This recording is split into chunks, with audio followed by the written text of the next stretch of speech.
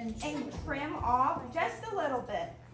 Just to kind of have a little bit of overhang, because I have a decent amount of overhang. I don't know if you guys can tell.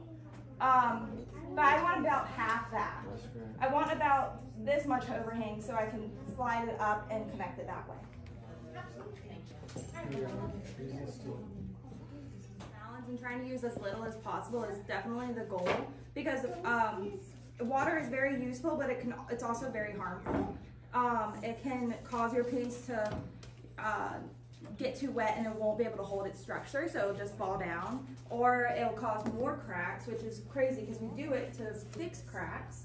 Um, so yeah, there, there's a lot of different things that it can do, but it's also very helpful.